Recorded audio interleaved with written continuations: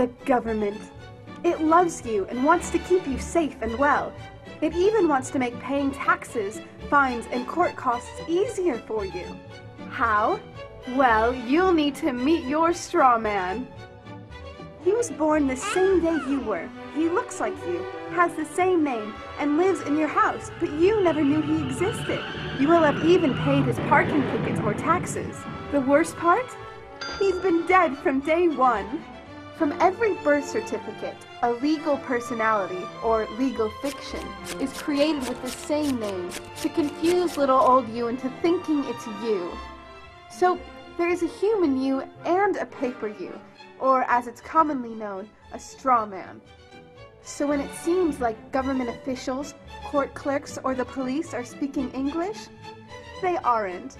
They're speaking legalese, designed to make you agree to verbal and written contracts without even knowing about it, all spun from Black's Law Dictionary. For example, when the police say, Do you understand? you'll say, Yes. What they are really saying is, Do you stand under our authority? Oops a daisy. You just created a verbal contract with them. Oh, you clever government. Did you know that whenever you register something, you are handing over title to the person you register it with? That's right. Whenever you register something with the government, they assume it belongs to them. Registered your car? Super! Now you are the registered keeper of your vehicle, and the government can crush it when you don't pay your, ahem, straw man's taxes. Expecting a new bundle of joy? Well, then you need to register your little darling with a birth certificate. Then they can start the process all over again and create a new strawman for your little one. Isn't that great? So when Junior grows up, he'll be able to generate revenue just like you have. When you notify on your baby by signing the birth certificate, your child becomes a ward of state. And if the government doesn't like what you're doing, they'll assume it's okay to take the child away or make new rules for things they don't like. Not enough school? Smacking your child? Shouting too loudly? Then it's off to social services for the little one. When you get a bill, it's sent to you, but belongs to your straw man, not you. That's why bills, fines, and summons start with Mr., Mrs., or Ms. Sometimes you'll see your surname in capitals, just like on a gravestone. That's because your straw man is dead, and just a silly piece of paper, created before you could comprehend or even consent to it. When you go to court, you represent your straw man, so you, the human, take on any costs, fees, taxes, and fines involved for the straw man. The human you doesn't even need to pay them. But you made a contract with the court by appearing on behalf of your legal personality or straw man, just like the government knew you would. Confused? well, don't worry. The government doesn't want you to know anyway. If you knew, you'd stop paying things like council tax and parking tickets. Because when you go to court, you are representing your straw man. You are you, alive and made of flesh and blood. Your straw man or legal personality is a piece of paper created from your birth certificate. And you think it's you. What a silly Billy. Would you like to know more? Well, then go over to tpuc.org. Get up, get informed, and get real.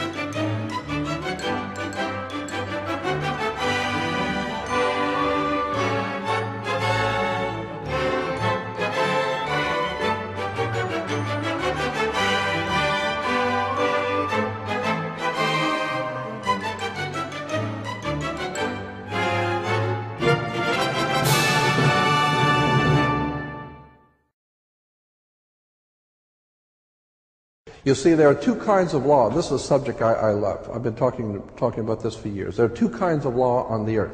that rule the whole world. But most people don't know that.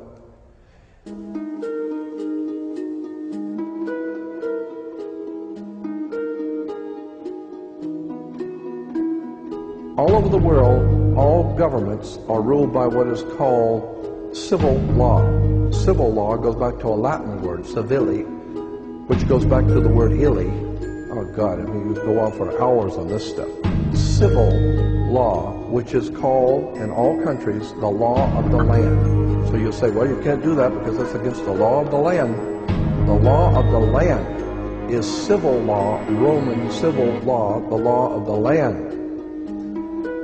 But there is a second law which also operates all over the earth identical. It's called UCC, Uniform Commercial Code. That is the law of God in the world of business. I don't care if you're in Japan, in Africa, in China, in, in Istanbul, Turkey. If you have a company, if you have a corporation, if you are doing business where you buy and sell and make money, you are operating on this earth under something called UCC, Uniform Commercial Code. Because if all countries worked on a different commercial code, then nobody could do business with anybody. You couldn't trust Japan to pay you. you. Japan couldn't trust America to pay them for the cars because everybody has their own laws. Uh-uh. Under the Caesars of Rome, they established under Caesar that all nations in the empire that do business, everybody plays on a, on a level field. If you do business in Africa with China, you pay them. And if Africa does uh, uh, business with American companies, you pay them. You pay whatever it is you're doing business. You don't mess around. The most severe law in this world is called UCC, Uniform Commercial Code. It's the Bible of business on the earth. Uniform Commercial Code. Uniform Commercial Code is based directly on Vatican canon law, on the Roman canon law. Consequently, when a ship pulls into port, it pulls in and stops, and it's called in its berth. The ship is now in its berth.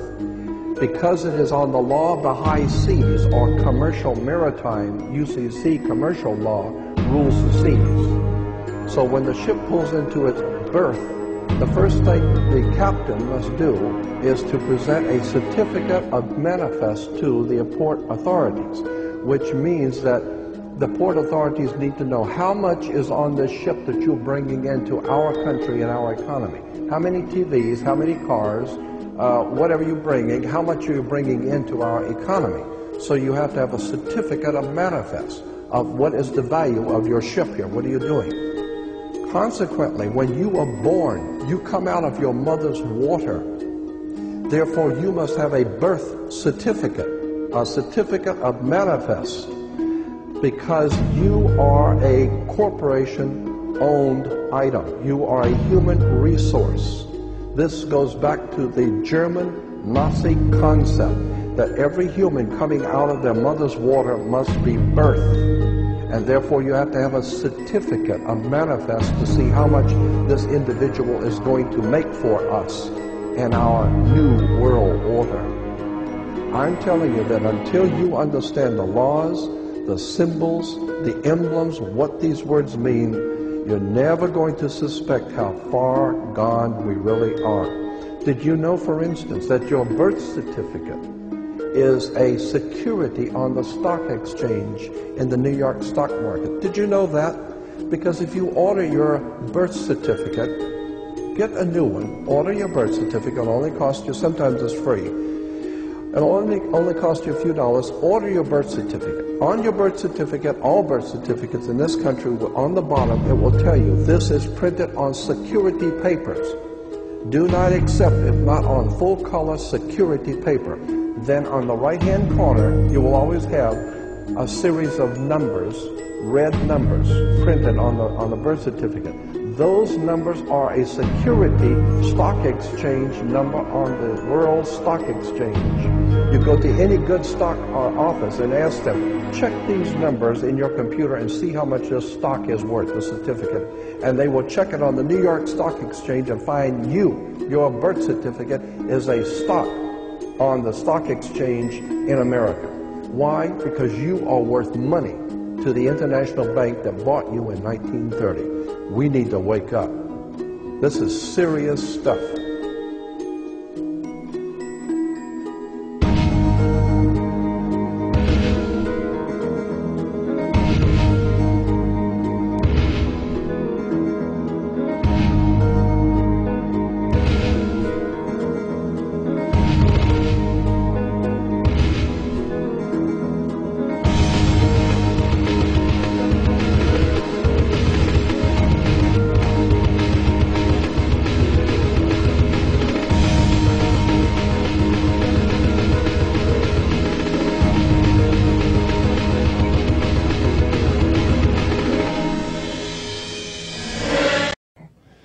I've always been interested in the occult.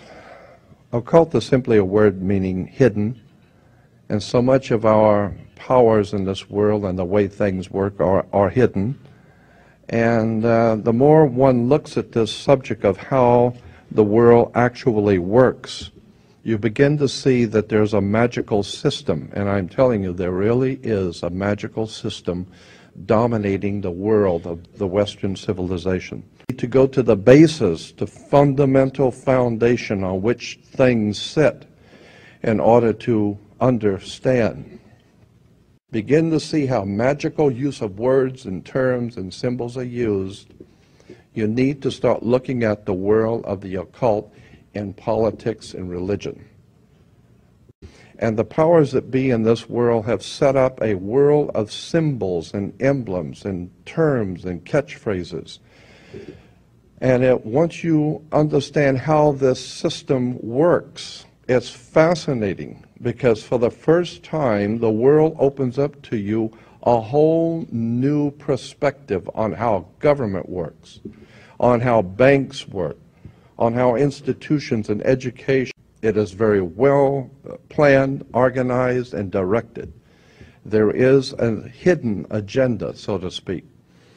And it's been my uh, desire to uncover this. And once you begin to see the symbols and realize that the symbols for the national coats of arms for countries, the flags, the seals, the presidential seals, the emblems for the logos and emblems on corporate uh, corporations, especially the, uh, the, the corporate emblems for motion pictures and television companies like Columbia, broadcasting system. CBS has the eye. The Columbian uh, system goes back to the Columbian faction of the Illuminati back in the early 1700s, not the late 17.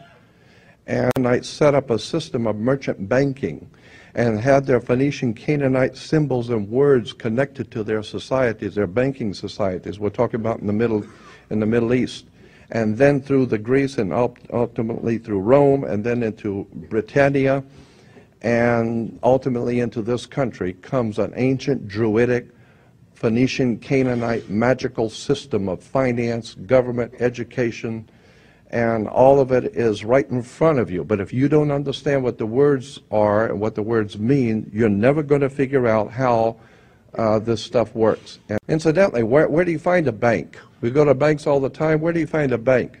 Banks are on both sides of a river. They're called river banks. What does a river bank do? It directs the flow of the current sea. Your money is referred to as the current sea. This is why when you go to court, you have the current electricity because it's the juice. And if you don't have the juice, you don't have it. So if you don't have the juice, you can't capitalize. And the capital is a Latin word meaning money. Consequently, Caesar ruled from what was referred to in history books, Caesar ruled from up on the hill. It was called Capitol Hill, Capitoline Hill, with the Senate. You need to understand that Washington, D.C., as a Jesuit Catholic establishment, under international maritime admiralty law. And once you begin to see how the system of the ancient uh, Catholic system, the Jesuits, the ancient Roman Empire, the Phoenician Canaanite banking system, is all part of a world dominating system. Again, I'm saying you better do your homework. You need to understand that according to the old Phoenician Canaanite system, which we call today our judicial, educational, and judicial system, there is no law in this country or in the Western world, no law, federal, state, county, city, commercial, it makes no difference. There is no law on the books anywhere in this country that applies to you as an individual creature. There is no law. They have no control over you, your flesh and blood self. But somebody has to control this show, and so consequently, the ancient Phoenician Canaanites developed a, new, a system by which they would assign to every person a second you. And this is the way it works in America. There is two of you. Consequently, the system has made each one of you a corporation. And how, how now do you distinguish which one, uh, when someone's addressing you, that they're addressing you as the one that your mother gave birth to, or the corporate you? For every piece of important bills, insurance, driver's license, identification, uh, taxes, I don't care what it is. If it's a piece of business, period, in any kind of way, shape, or form, your name must, by law, international maritime admiralty banking law, your name must appear in all capital letters. When you sign your name, upper and lower case, that is applying to your body. Your, your flesh and blood self is spelled, according to British and American law, upper and lower case, capital letter, lower case. That's you, your personal self. There is no law that can be applied to an upper and lower case name, period. Ask and read on a check what, what is said where you sign your name. That's why the attorneys tell you, you better check the small print. The Bible of business on the earth. Uniform Commercial Code. Uniform Commercial Code is based directly on Vatican canon law, on the Roman canon law. Consequently, when a ship pulls into port, it pulls in and stops in its call in its berth. The ship is now in its berth. Because it is on the law of the high seas or commercial maritime UCC commercial law rules the seas.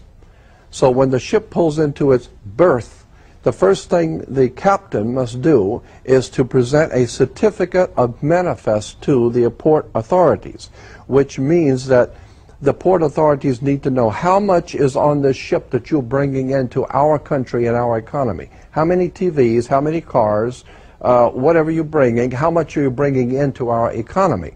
So you have to have a certificate of manifest of what is the value of your ship here. What are you doing?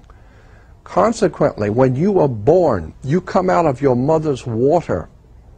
Therefore, you must have a birth certificate, a certificate of manifest, because you are a corporation owned item. You are a human resource. This goes back to the German Nazi concept that every human coming out of their mother's water must be birthed and therefore you have to have a certificate, a manifest to see how much this individual is going to make for us in our new world order. I'm telling you that until you understand the laws, the symbols, the emblems, what these words mean, you're never going to suspect how far gone we really are. Did you know, for instance, that your birth certificate is a security on the stock exchange in the New York stock market. Did you know that?